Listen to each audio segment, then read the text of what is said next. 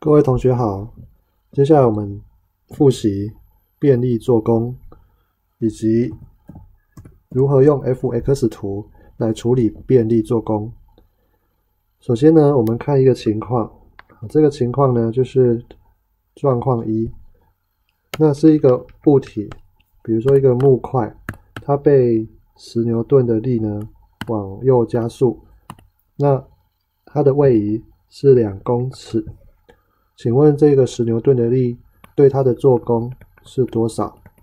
那我们知道，做工就是外力乘上位移，所以今天这个力是十牛顿，位移是两公尺。各位可能就会说，它的做工就是二十焦耳，这没有什么太大的问题。那接下来呢，我们来处理这个问题。好，这是一个。墙，然后有一个弹簧，弹簧连接着木块，那木块的木块的被弹簧拉住。我们先把其中一个先去掉，啊，木块被弹簧拉住了，所以本来它就会有一点受到弹力。这个时候我们要出十牛顿的力，才可以撑住这个木块。那我们一样要把它拉长，拉长的。两公尺，总就像这样子，拉长了两公尺。可是因为这个木块它是被绑在弹簧上，所以我们在拉的时候，其实越越来会越来越难拉，越来越难拉。对，所以最后拉到两公尺处的时候，我们的施力已经变二十牛顿了。那请问这个过程的施力，十牛顿的这个力呢，对这个木块的做工要怎么算？应该说。这个力 F，这个拉力，它对木块的做工要怎么算？我们能不能把整个过程全部都当成是十牛顿？那就一样去乘上两公尺，这样你会得到跟上面一样的结果，对不对？可是我们明明拉拉拉拉到最后，力量是变成二十牛顿了，所以其实事实上我们是不能这样子算的，因为这个十它有不断改变。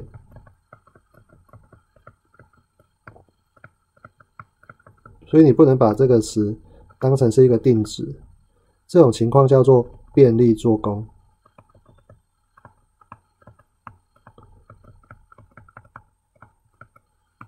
那原本的上面这种情况，整个过程都是十牛顿，整个过程都十牛顿的情况呢，这叫定力做工。我们把这个十牛顿复制过来，这样子会更清楚的表达。它真的是从头到尾都是十牛顿这样，这种情况叫做力之大小方向都不变，都固定，这叫做定力做工。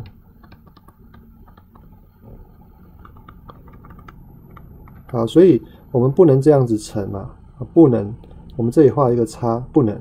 所以意思就是说，事实上我们的做工的公式呢，事实上只能用在定力做工而已，只能用在定力做工，你才可以直接 F 乘以 D。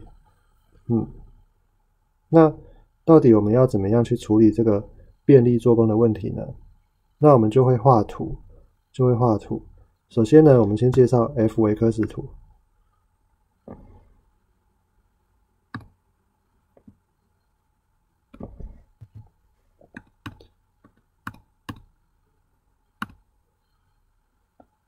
这个 y 轴是 F，纵呃 x 轴是 x，y 轴单位牛顿，x 轴单位公尺。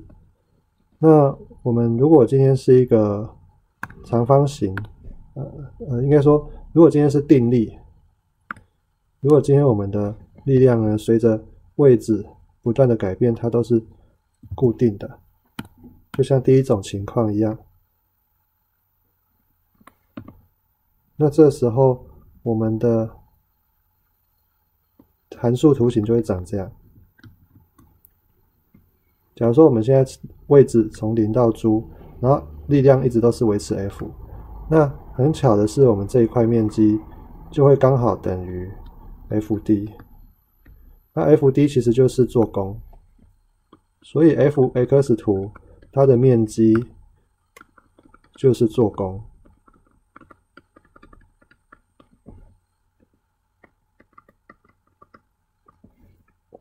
好，那就如我们以前在推推理 VT 图的面积是位移一样的概念，我们其实也可以把这个情况，把长方形的情况推广到任意形状，因为任意形状也都可以用无限个小长方形来来代表。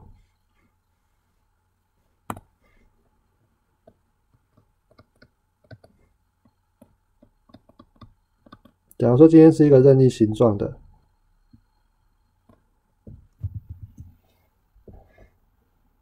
比如说梯形好了，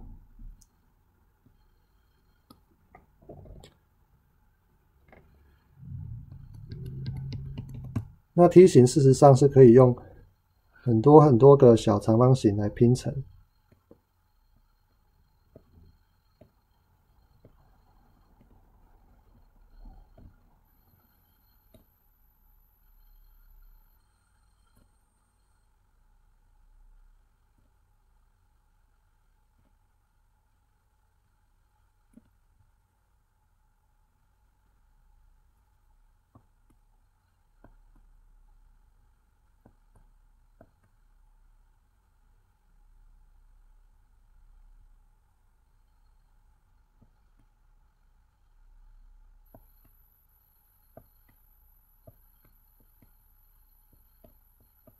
啊，有点太花时间啊。总之呢，其实这每一块小长方形呢，它的面积呢，都可以算是做工。那我们总是可以用无限多个小长方形去拼，把这个面积拼起来啊。所以这个面积也是做工，只是就不是直接 F 乘以 z 二，而是要真的去算这块面积。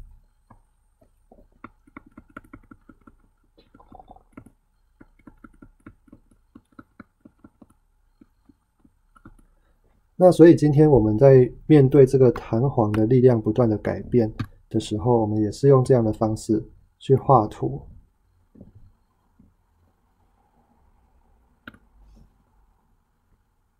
我们就以这题为例，这题的话，如果我们真的想要知道这个十牛顿拉拉拉拉到最后变二十牛顿，然后它的做工是多少，那我们就会画图。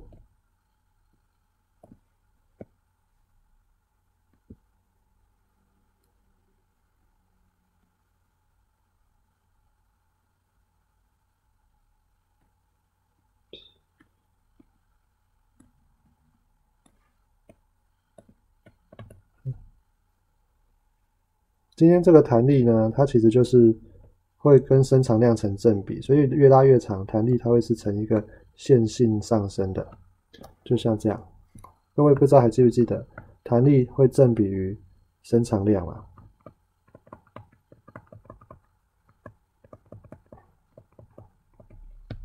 那所以今天呢，我们如果是从假设，如果是从两公尺处拉到四公尺处。那伸长量是二，变成伸长量是四。好，这个是伸长量。我们把它写成 delta L 好了。好，那么从两公尺处拉长两公尺到拉长四公尺，那它的力量就会变两倍，而且在整个过程中拉的。拉长的比例会跟我的施力的所需要施的力这个比例会是一样的。啊，所以画完了，我们这个当拉长两公分的时候，我们的力是十牛顿；而拉长四公分的时候，拉长两公尺的时候，力是十牛顿；拉长四公尺的时候，力是二十牛顿。那我们就可以来算算这块面积梯形面积。啊这块面积怎么算呢？它就刚好是上底加下底乘以高除以二。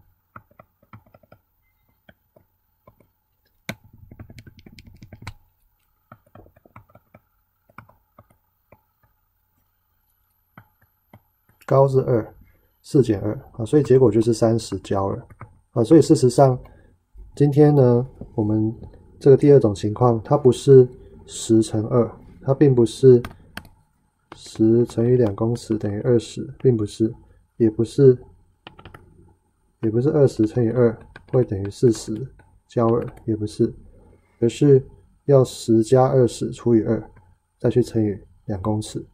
最后得到的答案是三十焦耳。